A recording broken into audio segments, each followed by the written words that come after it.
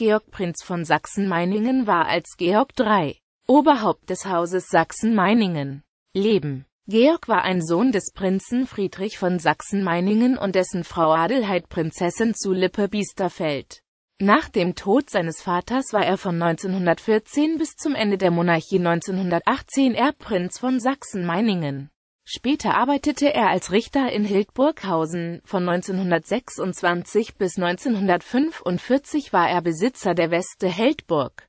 Nach der Machtergreifung der Nationalsozialisten trat er zum 1. Mai 1933 in die NSDAP ein und erhielt die Mitgliedsnummer 2.594.794. Während des Zweiten Weltkriegs war er Major in der Wehrmacht. Er und seine Familie wurden 1945 entschädigungslos enteignet, er selbst starb 1946 in sowjetischer Kriegsgefangenschaft in Nordwestrussland. Seine Frau flüchtete mit den Kindern nach Westdeutschland.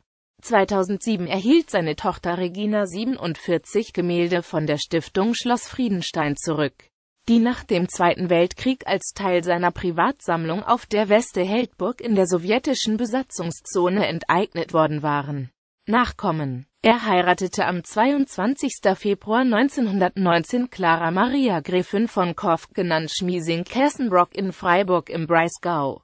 Sie war die Tochter des Forstmeisters von Harzfeld, Graf Alfred von Korff, genannt Schmiesing-Kersenbrock, und seiner Frau Helene Gepp Freien von Hilgers. Diese war eine Schwester von Helene Elisabeth von Isenburg. Mit ihr hatte er folgende Kinder, Anton Ulrich.